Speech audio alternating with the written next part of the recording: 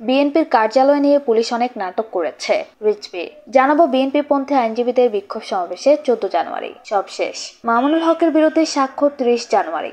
দেশ বিদেশে সকল খবর সবার আগে জানতে চ্যানেলটি সাবস্ক্রাইব করে রাখুন।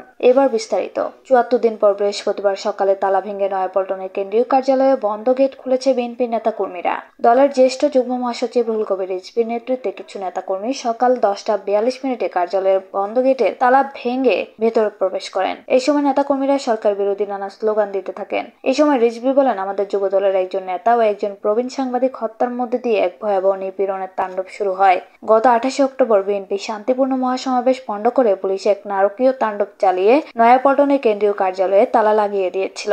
এই দুই মাসের অধিক সময় পুলিশ কাউকে এখানে ঢুকতে দেয়নি এবং পাশে ফিরলেও তাদেরকে আটক করে নিয়ে গেছে। তিনি বলেন, পুলিশ তালা মেরে এই কার্যালয়ের চাবি নিয়ে যায়। কত নাটক করেছে, তারপরে গেট বন্ধ করে দিয়ে চলে যায়।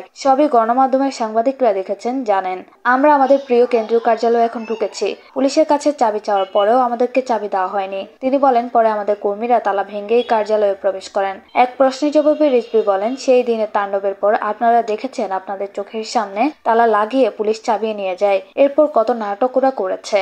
আমরা পুলিশের কাছে চাবি চেয়েছিলাম, সেটা তারা দেয়নি। দেশের একটি নিয়মতান্ত্রিক কার্যকর রাজনৈতিক দল বিএনপি। এই দল বারবার রাষ্ট্র পরিচালনা করেছে অত্যন্ত সুনামের সাথে, দক্ষতার সাথে। সেই দলের প্রধান কার্যালয় একটি মাফিয়া তন্ত্র, একটি মাফিয়া সরকার বন্ধ করে রেখেছে। সুতরাং পুলিশ চাবি না দেওয়াতে তালা ভেঙে আমরা ঢুকেছি। তিনি বলেন, আপনারা দেখেছেন পুরো কার্যালয়ে কি ভয়ঙ্কর দুলবালি জমেছে। এটা এখন আমাদের পরিষ্কার করতে হবে। বিকাল তিনটায় আমাদের দলের স্থায়ী কমিটির সদস্যগণ এই কার্যালয়ে সংবাদ সম্মেলন করবেন। রিজভি বলেন, প্রধানমন্ত্রী গণতন্ত্রের কথা বলেন। নিজেদের মধ্যে নিজেরা নির্বাচন করেন নিজেদের জয় নিজেদের পরাজয় এককভাবে ওদের নিজের জয়। চলে যাচ্ছে পরের সংবাদে। দ্বাদশ জাতীয় সংসদ নির্বাচন বাতিলের দাবিতে চোদ্দ জানুয়ারি সারা দেশে কালো পতাকা, মিছিল ও বিক্ষোভ সমাবেশের ঘোষণা দিয়েছে বিএনপি পন্থী আইনজীবী ও সমমাননা দলের আইনজীবীরা। বৃহস্পতিবার এগারোই জানুয়ারি দুপুরে এই ঘোষণা দেন তারা। এদিকে দীর্ঘ দুই মাস তেরো দিন পর খুলেছে বিএনপি নয়াপল্টনের কেন্দ্রীয় কার্যালয়। তালা ভেঙে ভেতরে প্রবেশ করেছেন নেতাকর্মীরা। সকাল সাড়ে দশটার দিকে বিএনপির সিনিয়র যুগ্ম মহাসচিব রুহুল কবির রিজভির নেতৃত্বে কার্যালয়ের সামনে জড়ো হন নেতাকর্মীরা।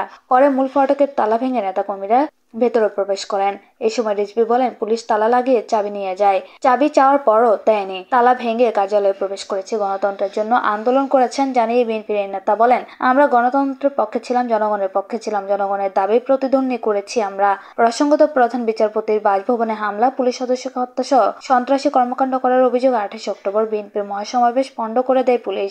একই সঙ্গে দলের কেন্দ্রীয় কার্যালয়ের মূল ফটকে তালা ঝুলিয়ে দেওয়া হয়। এরপর থেকে তালা ঝুলছে।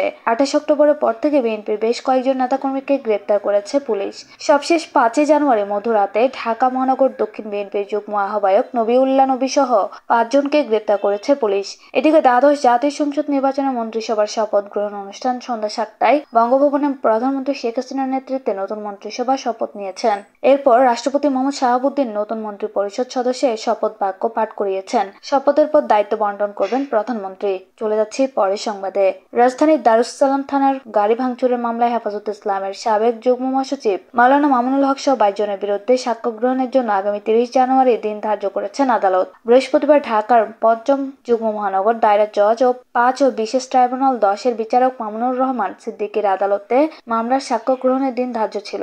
এদিন মামুনুল হককে কাশিমপুর কারাগার থেকে আদালত উপস্থিত করা হয়। কিন্তু কোনো সাক্ষী না আসায় রাষ্ট্রপক্ষ সময়ের আবেদন করেন। আদালত সময়ের আবেদন মঞ্জুর করে সাক্ষ্য গ্রহণের জন্য আগামী তিরিশ জানুয়ারি দিন ধার্য করেন। মামলার বিবরণ থেকে জানা যায় দু হাজার বারো সালের নয় ডিসেম্বর সকালে বিএনপি নেতৃত্বাধীন বারো দলীয় জোটের চারশো থেকে পাঁচশো জন নেতাকর্মী লাঠিসোটা সজ্জিত হয়ে গাবতলী এলাকায় মিছিল করে এরপর গাবতলি আল্লাহর দান হোটেলের সামনে পৌঁছে গাবতলি থেকে ছেড়ে আসা যাত্রীবাহী একটি বাসের গতিরোধ করে গাড়ির সামনে এবং পাশে গ্লাস ভাঙচুর করে গাড়ির আনুমানিক দেড় লাখ টাকার ক্ষতি করে এবং আটটি ককটেল বিস্ফোরণ ঘটায় তারা। দর্শক, এতক্ষণ সাথে থাকার জন্য ধন্যবাদ। আমাদের পরবর্তী সংবাদ দেখার আমন্ত্রণ রইল।